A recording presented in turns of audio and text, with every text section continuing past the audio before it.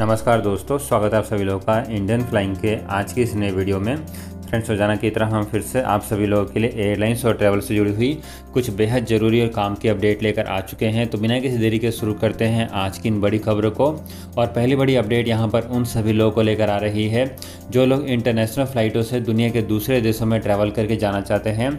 और जिन लोगों ने अभी तक कोवैक्सीन लगवाया हुआ था, ऐसे सभी लोगों के लिए यहाँ पर डब्ल्यू की तरफ़ से जो अपडेट सामने आ रही है, उसके अनुसार डब्ल्यू कोवैक्सीन को अप्रूवल अब 26 अक्टूबर को दे सकती है। ये दोस्तों, ये एक बुरी खबर है क्योंकि WHO की तरफ़ से अप्रूवल कोवैक्सीन को सितंबर महीने में ही मिलने वाली थी, लेकिन यहाँ पर लगातार हो रही देरियों के कारण आम लोगों को काफ़ी ज़्यादा प्रॉब्लम का सामना करना पड़ रहा है। आपको बता दें कि भारत में जिन लोगों ने भी कोवैक्सीन लगवाया हुआ है और दूसरे देशों में ट्रैवल करके जा रहे हैं, ऐसे सभी लोगों को दूसरे देशों में जाने के बाद वहाँ पर क्वारंटीन में रहना पड़ रहा है। यहाँ पर जो लास्ट अपडेट डब्ल्यूएचओ की तरफ़ से आई थी डब्ल्यूएचओ इस वैक्सीन का अप्रूवल जो है, सितंबर महीने में देने वाला था। बाद में इसको अप्रूवल अक्टूबर के फ़र्स्ट वीक में मिलने वाला था। लेकिन फाइनली अब ये अप्रूवल जाकर जो है, अक्टूबर महीने के लास्ट वीक में मिलने जा रहा है। अभी देखना रहता है कि क्या अक्टूबर महीने के लास्ट वीक में भी ये अप्रूवल मिल पाता है या फिर डब्ल्यूएचओ इसको लेकर एक नई डेट दे देता है। फ्रेंड्स, अगली अपडेट यहाँ पर एयर इंडिया से जान लेते हैं। आपको बता दें कि एयर इंडिया को लेकर यहाँ पर कई मीडिया चैनल्स में रिपोर्टिंग करके बताई जा रही है कि एयर इंडिया जो है, इतना ज़्यादा लॉसेस कर रही थी कि एक दिन में भारत सरकार को 20 करोड़ रुपए देने पड़ते थे ताकि एयर इंडिया सक्सेसफुली अपनी फ़्लाइटों को ऑपरेट कर सके। जी दोस्तों, आप यहाँ पर ये लाइव मिनट की रिपोर्ट देख सकते हैं, जहाँ पर बताया गया है कि एयर इंडिया के लिए भारत सरकार जो है एक दिन में बीस करोड़ रुपये खर्च करती थी ताकि एयर इंडिया अपनी फ़्लाइटों को ऑपरेट कर सके। यहाँ पर भारत सरकार एयर इंडिया को बेचने की कोशिशें काफ़ी लंबे समय से कर रही थी, लेकिन फाइनली अब जाकर एयर इंडिया को टाटा ग्रुप ने परचेज कर लिया है। आपको बता दें कि एयर इंडिया को सक्सेसफुली टाटा ग्रुप को दिसंबर महीने तक सौंप दिया जाएगा। अभी भी एयर इंडिया जो है, भारत सरकार के पास ही है और जितने भी एयर इंडिया की फ़्लाइटें ऑपरेट हो रही है, वो भारत सरकार के अंडर में ही ऑपरेट की जा रही है।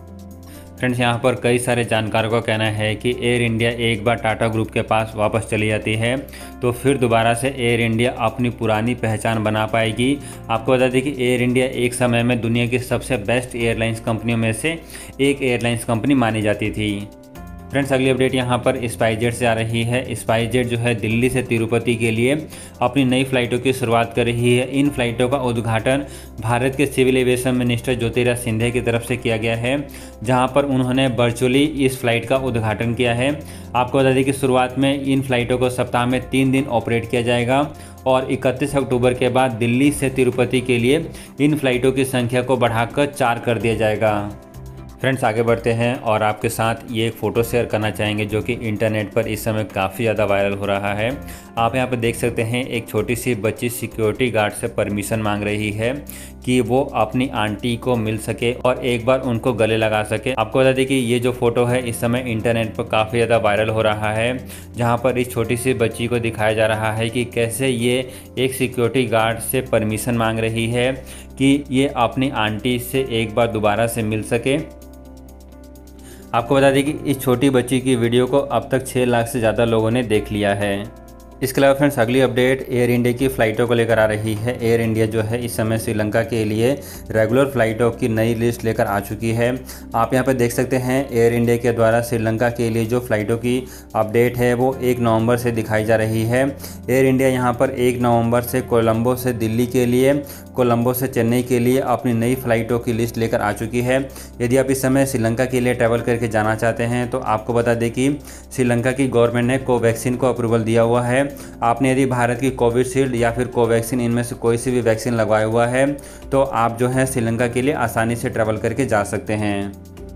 इसके अलावा फ्रेंड्स, यदि आप फ़्लाइट से ट्रैवल करने वाले हैं और सस्ती टिकट बुक करके कम से कम दो से तीन हज़ार रुपये बचाना चाहते हैं तो go my boss dot com पर जा सकते हैं। जी हाँ दोस्तों go my boss dot com पर आप जो है सस्ती से सस्ती टिकट बुक करके ट्रैवल कर सकते हैं।